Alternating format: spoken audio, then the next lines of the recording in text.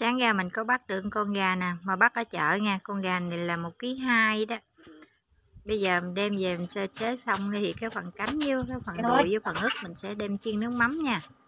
Còn cái phần thịt uh, của mình mình đi kho xả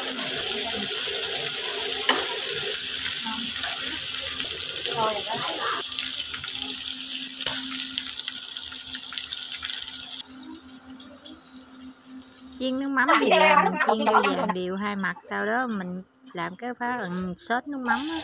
Mình thắng chừng nào nó kẹo thì mình đổ gà vô thôi. Xong thì ra mình giường mình hái ít rau muống nên ăn hồi mình luộc ăn chung với ờ, gà kho xả nha. Đó cả nhà thấy không? Rau muống này mình trồng có 10 ngày đó mà nó lên ba cao đó rồi đó. Bữa trước mình trồng ba khay lần mình ăn hết hai khay rồi còn khay bữa nay mình nhổ ra hết luôn nha xong rồi đang mình trồng cái mới á. Đó, mình lặt, nhiều người lặt xong về rồi tứ phân vô nó sẽ mọc thêm nha. Còn mình mình sẽ xạ luôn cái mới luôn.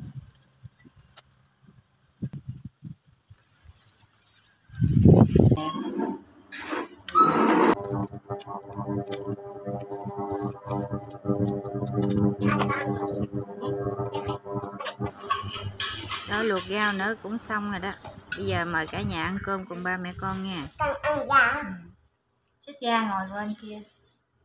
Ngồi ở đây nè. Bữa nay à, gà chiên nước mắm này. Hai chị em ăn gà chiên nước mắm. Ở đây nè má. Đây.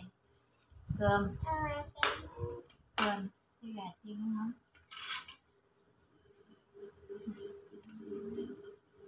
Cái ăn cái cái đùi À, ăn mắm mắm. cái phần đó của chị hai cái phần của con bên đây nè.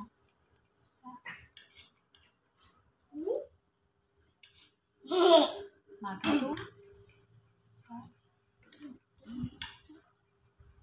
Quá trời ngon rồi Ờ, ngon quá.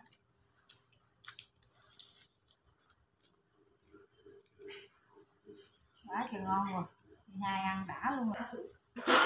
Ngon chút chắc luôn nó lấy gì ngon chút chắc luôn nào, anh ngồi vô đây nè. Hai chị em cần giống nhau. Dạ. Đấm lên ôi này ngồi chút nãy mà đi đổ qua câu này nó khoai lang nữa kìa. Cái này mẹ đâu làm lạnh đâu. Chưa làm lạnh kịp. Sáng giờ nó thu